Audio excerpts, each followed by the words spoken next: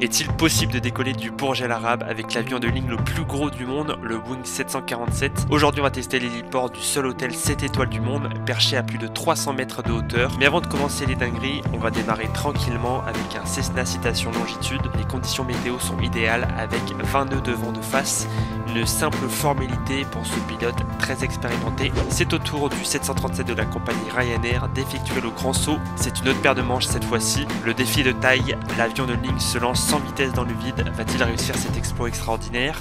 La réponse est oui, sans trop de difficultés, les flaps déployés au maximum pour plus de portance. Bon, pensez-vous sincèrement que le 747 va en faire autant? Je ne suis pas sûr. Il n'est même pas capable de tenir correctement sur cet héliport. Voilà les gars, c'est très mal parti. Il s'est lancé timidement dans le vide. Honnêtement, j'y crois pas. L'avion est beaucoup trop lourd. Ça va être un désastre. Après cet échec, c'est à vous de jouer.